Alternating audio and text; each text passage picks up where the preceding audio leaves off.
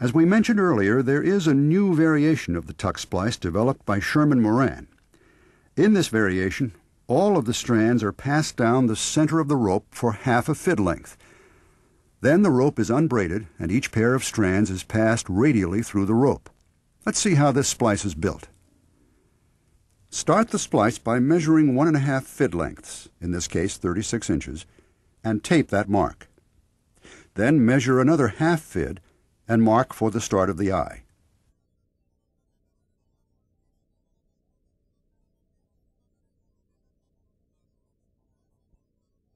Measure the eye loop, we're using a 12-inch eye, and mark it as well. The tail of the rope will be buried into the standing part from here to here. At this point, one half a fid length down from the eye, Mark a set of picks around the rope so that all of the tucks will start at the same point.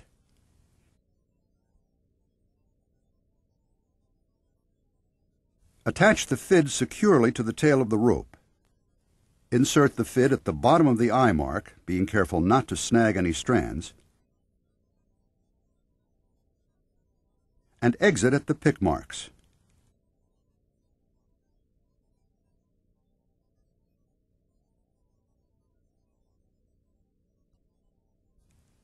Then pull the rope through until the tape mark has exited the body of the rope.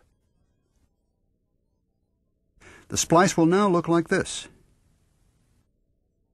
Remove the fid and all the tape you used to attach it, and separate the strands back to your taped mark. Then array the strands in a star pattern and pair them up, matching opposite S and Z strands and tape each pair. For convenience, separate the six pairs of strands into two groups of three each, and start the next step with the three pairs closest to the body of the rope. Take any one of the three pairs and locate the nearest pick location you marked earlier. Insert the Swedish fid under the pick mark and pull the strand pair through.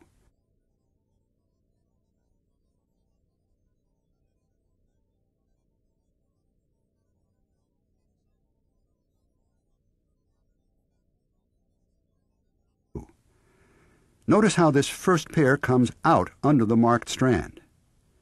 Now do the same thing with the next pair, slipping the Swedish fid under the next marked strand, and pulling the strand pair through. Continue this process all around the rope until all six pairs have exited under the marked strands. When all the strands have exited the rope, pull them down tight. Now begin the 4-3-2 tuck procedure just as you did in the traditional tuck splice shown earlier in this tape. Put four tucks in all six pairs of strands, then three tucks in half the pairs of strands, then, separating the pairs into individual strands, put two tucks in three of the individual strands. When all the tucks have been completed, tape each tail and cut it off to finish the splice. As you can see, the Moran splice does take somewhat longer to build, but it offers a very smooth transition from the eye all the way down the splice. Depending on your particular application, you may want to finish off the tails in a different manner. In cases where the splice area will be covered by chafe gear, you could remove the tape entirely. In other cases, you may want to use self-vulcanizing silicone tape or fuse the ends with a propane torch.